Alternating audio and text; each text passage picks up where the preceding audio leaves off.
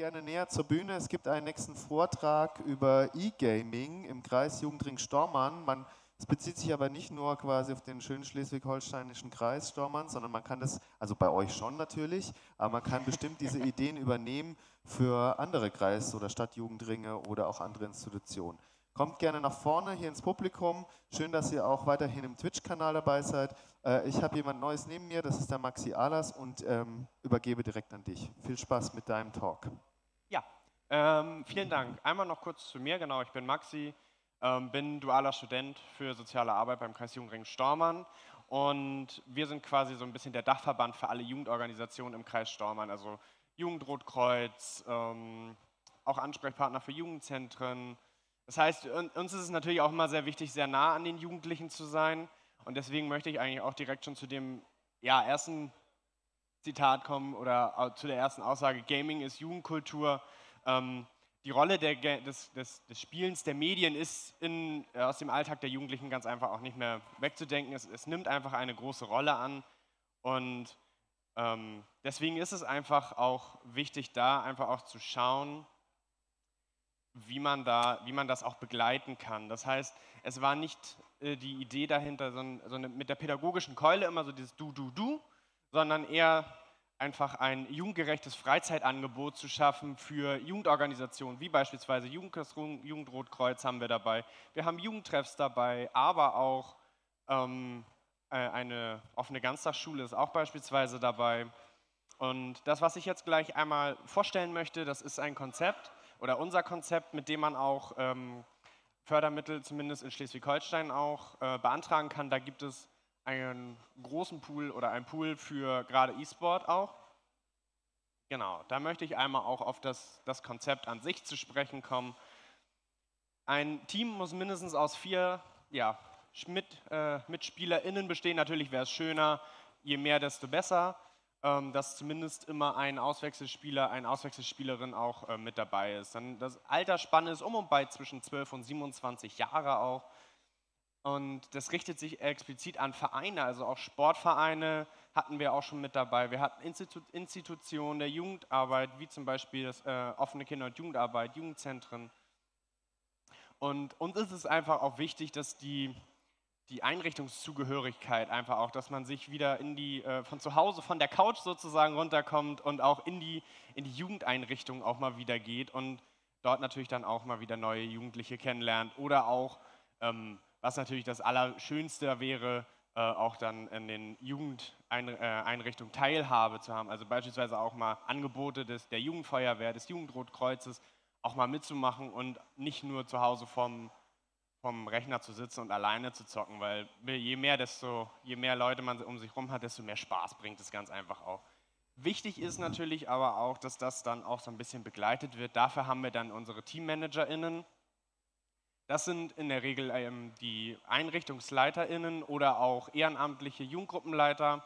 Die kriegen, äh, von die haben wir auch ähm, explizit auch Fortbildungen geplant äh, im pädagogischen, äh, mit pädagogischen Themen die sich dann auch entsprechend auf die einzelnen Einrichtungen oder auf die einzelnen Situationen innerhalb der Teams ähm, auch mit äh, beschäftigen. Also beispielsweise kam ein Teammanager zu uns und hat halt auch gesagt, wir haben momentan einige Leute, die neu dazugekommen sind, aber auch nicht, so, nicht richtig trauen, sich durchzusetzen innerhalb des Teams, ihre taktischen Vorstellungen so ein bisschen mit einzubringen. Wie kann ich das so ein bisschen initiieren? Und da hatten wir beispielsweise an einem Nachmittag einen sehr spannenden Vortrag von einem Referenten, der uns zu diesem Thema, wie kriege ich neue äh, TeilnehmerInnen in die Mannschaft rein, ähm, ja, geliefert hatte. Des Weiteren haben wir auch zum Beispiel vom E-Sport-Verbund Nord ähm, einen sehr interessanten äh, Vortrag bekommen, wo es speziell darum ging, wie trainiere ich eigentlich ähm, E-Sport, weil die meisten EinrichtungsleiterInnen sind auch,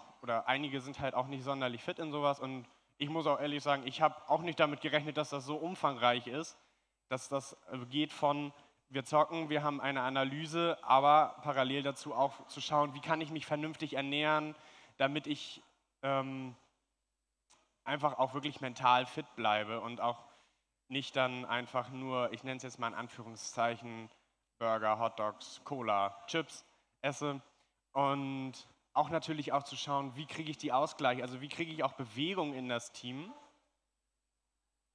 Und genau, dann kommen wir auch nochmal zum letzten Punkt, der ähm, ganz wichtig, der uns auch sehr wichtig ist, ist das Präsenztraining. Es soll, wie auch schon, äh, wie ich schon erwähnt hatte, ist, die Jugendlichen sollen in die Einrichtung selber kommen, und, um dort auch mit Jugendlichen zu spielen und nicht über zu Hause, über Twitch, Discord, wie die ganzen Kommunikationsplattformen auch heißen, ähm, nicht zugeschaltet sein, sondern es ist wirklich der, das Interesse, dass die Jugendlichen in die einzelnen Einrichtungen kommen und dort auch vor Ort mit den Jugendlichen direkt kommunizieren können und dass da keine Internetverbindung zwischensteht oder ähnliches.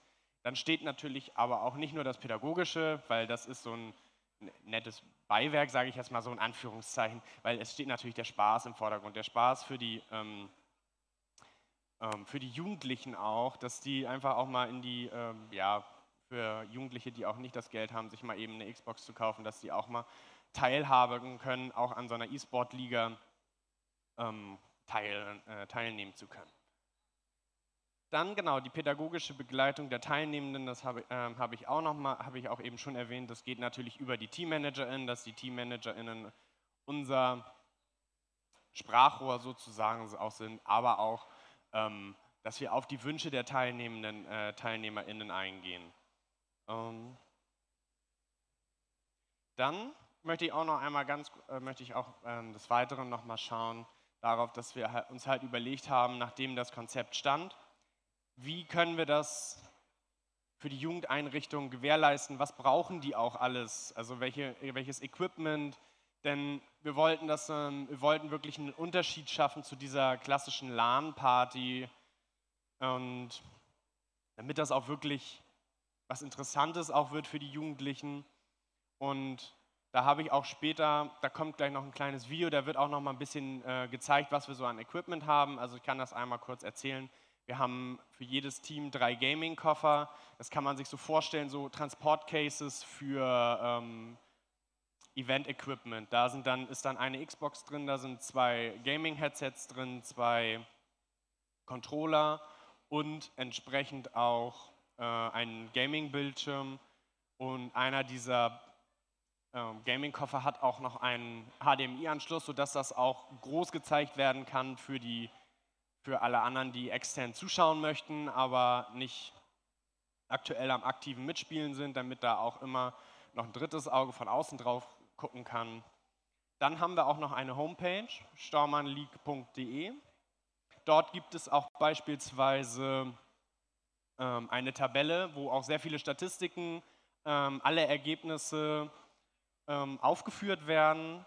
Dann ähm, haben wir auch die, die Spiele äh, auf Twitch gestreamt und haben uns dafür extra ein vernünftiges und ein wirklich hochqualitatives Streaming-Equipment äh, ins Büro geholt, um das auch wirklich richtig ähm, gut auch mit kommentieren zu können, damit alle daran auch noch äh, auch richtig gut dann teilhaben können.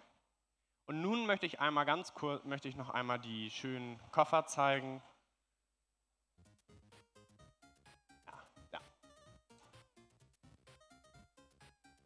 Genau, das ist so das Equipment, so sehen die Koffer von außen aus. Genau, gespielt wird Rocket League, da möchte ich gleich auch noch einmal näher drauf eingehen, warum wir dieses, genau dieses Spiel auch ähm, gewählt haben. Jetzt sehen wir noch einmal das Inlay, wie die Koffer von innen, äh, von innen ausgestattet sind.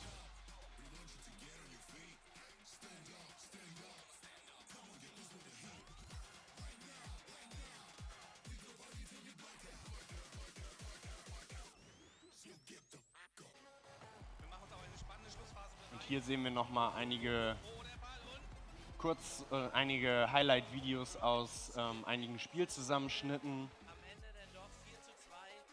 Das ist beispielsweise äh, unser eine Team Rocket Youths, das ist ein Jugendzentrum. Und dann haben wir noch das Team Elva, das ist ähm, eine Jugendfeuerwehr, beispielsweise aus, ähm, aus Stormann.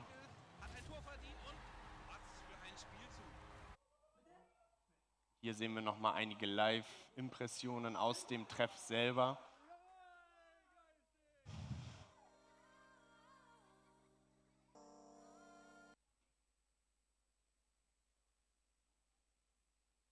Genau. Und jetzt noch einmal ganz kurz auf die, äh, den Hintergrund, warum wir Rocket League gewählt haben. Äh, Rocket League haben wir aus diesem Grund ausgewählt, da egal welche Autofarbe, welches Chassis gewählt wurde, der Spieler, die Spielerin keinen einzelnen, äh, keinen Vorteil gegenüber anderen hat.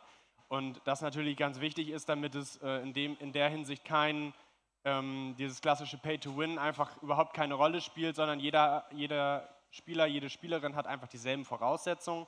Und das war uns einfach auch ganz wichtig, gerade im, Hinse äh, im Hinblick auf, die, ähm, na, auf den Wettbewerb an sich. Gespielt wird äh, das klassische System Best of, äh, Spielen Best of Seven, ähm, ähm, haben aber gesagt, das haben wir einstimmig auch mit den TeammanagerInnen und den Jugendlichen beschlossen, dass, es, äh, dass tatsächlich alle sieben Spiele durchgespielt werden, dass ähm, damit nicht am Ende irgendein Team mehr Sätze gespielt hat, dadurch aber, äh, mehr Tore schießen konnte, wurde einfach gesagt, es werden alle sieben Spiele durchgespielt und es gibt, genau, das ist so die Idee. Das, zu Beginn, also 2019, haben wir angefangen, nur das klassische, den klassischen Spielmodi Fußball zu spielen. Da kam aber dann in äh, einigen Treffen mit den äh, TeammanagerInnen auch die Idee, auch mal andere Spielmodi, weil ja Rocket League auch verschiedene Spielmodi einfach auch bietet, wie zum Beispiel Eishockey oder auch Basketball. Da haben wir uns, mit Basketball haben wir uns doch sehr schwer getan, weil das ja doch ein sehr, ähm, ein sehr komplexer Modus ist. Da gab es auch einige Widersprüche dadurch, dass einige Teams tatsächlich einen, ähm, einen sehr wettkampforientierten Charakter hatten, wohingegen wir auch Teams dabei haben, die einfach wirklich in dem Sinne just for fun spielen und da dann halt auch von den TeammanagerInnen die klare Aussage kommen, äh, meine Kids, die spielen wirklich just for fun und da in, diesem, in, der, in dem Modus des Basketballs die, die Mechanik des Fliegens doch sehr vonnöten ist, ähm, wurde das äh, ja doch erstmal wieder rausgenommen. Deswegen wurde, ähm, gibt es jetzt immer ein Wechselsystem, das ähm, je nachdem, wie, wie es gewünscht wird, auch drei und vier gespielt werden, also drei Blechfußball und vier Eishockey oder andersrum, das ist, genau, das ist dann immer, immer unterschiedlich, je nachdem auch, wie die Teams sich das so, äh, wie, das, wie das angesagt wurde. Dann gibt es natürlich, äh, hat Corona uns einen ziemlichen Strich durch, dadurch gemacht, äh, zu Beginn. Das heißt, wir mussten le leider tatsächlich eine ja, Ligapause einlegen, dadurch, dass die Jugendlichen natürlich durch Corona auch nicht in die äh, Institutionen konnten, können. Aber die nächste Saison soll tatsächlich auch dieses Jahr, äh, Ende dieses Jahres noch starten. Und es geht auch tatsächlich nicht, um, nicht nur um ja, einen Eintrag auf die Internetseite oder ähnliches, sondern wir haben auch bei uns auf dem, um, im Büro noch stehen unseren Wanderpokal, der ist ungefähr hüfthoch, naja, ein bisschen weniger, aber ähm, das geht um nicht, ja, um den geilen Pokal und einfach auch um das geile Miteinander, eine geile Zeit und ja.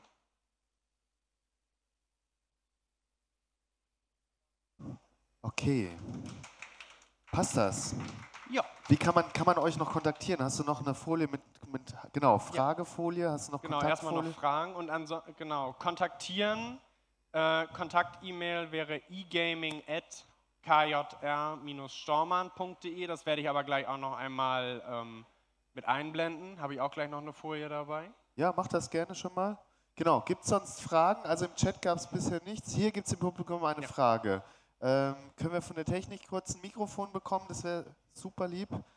Ähm, ich fand in der Zwischenzeit, ich fand euren Teaser richtig gut. Also äh, pumpt, pumpt da noch so ein bisschen Musik dazu? Oder wie ja, ein bisschen Musik war im Hintergrund noch dabei. Ja, ja, ja das ist eine schöne Kamerafahrt um den Koffer herum und ja, so. Genau, richtig das schön. Das war unser okay. Starting und das äh. Starting-Trailer für die Koffer, um zu zeigen, jetzt geht's los. Und Ja, okay. Also wir haben leider gerade kein Mikro. Bitte deine Frage. Ich gebe es nochmal hier ran. Ja.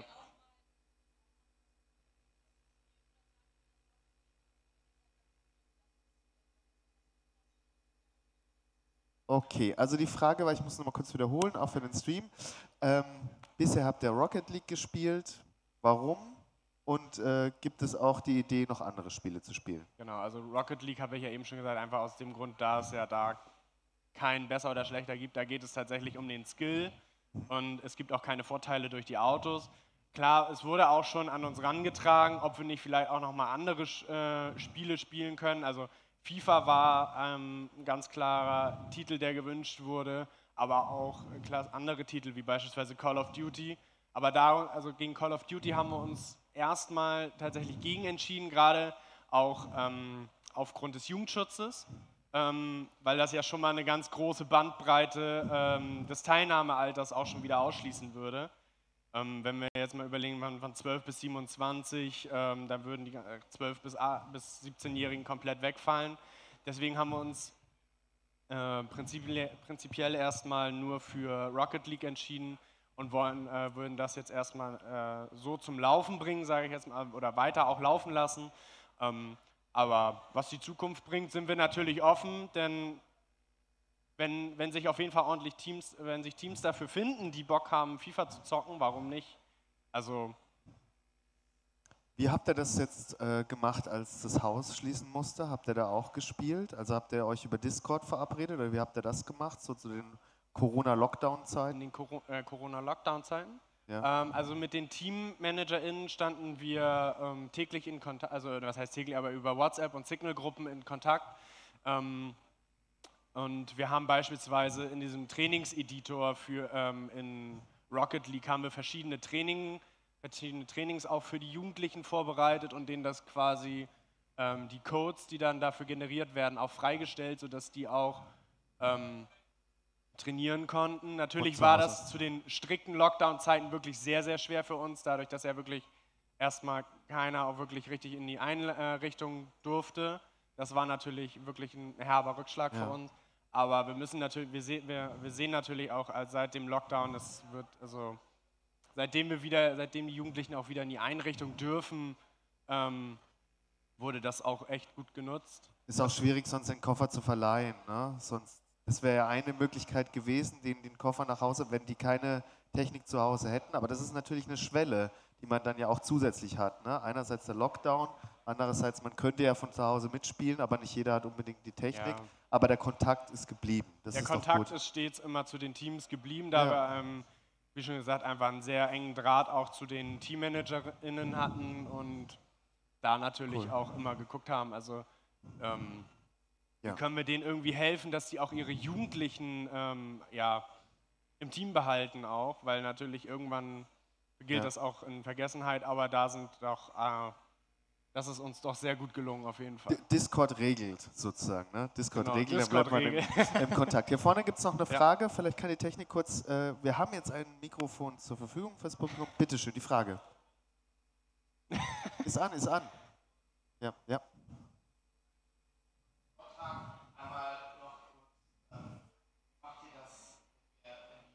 Die Schülerin oder wenn die Gruppe verschiedene Skills hat, also weil einige schon sehr lange irgendwie Erfahrung haben und andere vielleicht gar nicht das Geld oder noch nicht so viel Erfahrung haben. Wie geht ihr mit so ungleich unsymmetrischen Gruppen äh, ja. vor? Das wäre nochmal eine Frage. Genau, also da hatten wir, hatte ich ja, hatte ich ja auch noch ähm, zu den Fortbildungen für die TeammanagerInnen auch schon erzählt, dass wir da einen Referenten wirklich für hatten, der ähm, die Referenten dafür auch noch mal so ein bisschen sensibler gemacht hat. Also so ein, so ein, so ein Skillgefälle hat man natürlich überall. Und ähm, also es ist natürlich immer auch so eine Frage, wie die, wie die Gruppendynamik das natürlich mitmacht. Weil, also es gab natürlich Teams, wo es schwieriger war, aber es gab auch Teams, wo es wunderbar harmoniert hat, wo die Guten gesagt haben, so zu den etwas, ähm, ich nenne es jetzt mal, ja, schlechteren, nicht so guten, ähm, wir nehmen jetzt, wir, tra äh, wir trainieren einfach noch mal ein bisschen intensiver und ich zeige dir einfach mal so ein paar Skills, wie kann ich, wie kann ich fliegen ähm, und tatsächlich nach diesem Seminar sind dann auch wieder Rückmeldungen gekommen, da, wo dann auch gesagt wurde, so, das hat uns wirklich weitergeholfen. Also der, ich muss gerade mal kurz überlegen, ich bin der Meinung sogar, dass der, der Referent kam von den Hamburg Towers.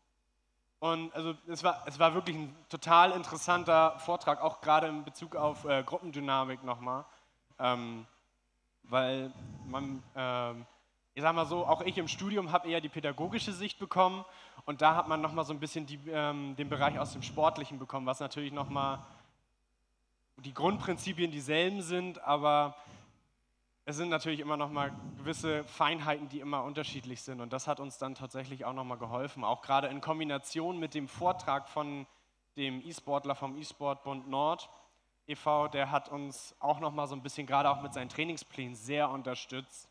Mm, wo ich ja, wie gesagt, auch schon echt wirklich überrascht war, was das für ein, ich sag's wirklich mal, Pensum ist, was da, naja, abgeleistet wird. Wenn dann eine 48, wenn man jetzt mal so ein Bootcamp, wie die ja heißen, anschaut, ähm, bin ich auch früher davon ausgegangen, geil, die sitzen 24-7 vom PC, aber ähm, da wurde ich dann auch echt ein, wirklich, wirklich, eines Besseren belehrt, dass da wirklich auch äh, Ernährung mit reinkommt, ähm, Ausgleichssport, was natürlich sehr wichtig ist auch, und die Analyse. Genau, das sind okay, wenn ich das richtig überblicke, haben wir keine Fragen mehr hier im Publikum. Im Chat kam nochmal die Frage, sollen noch andere E-Games dazukommen? Das hast du ja auch schon beantwortet, da muss man einfach mal schauen, wie es ist.